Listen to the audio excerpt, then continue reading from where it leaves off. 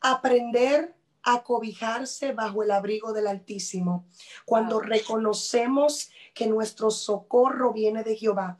Dice la palabra del Señor que de dónde vendrá mi socorro, de dónde vendrá mi ayuda, mi pronto auxilio, viene de Jehová Dios. No te refugies en los brazos de un ser humano que a lo mejor está peor que tú. Refúgiate bajo el abrigo del Altísimo y bajo sus alas.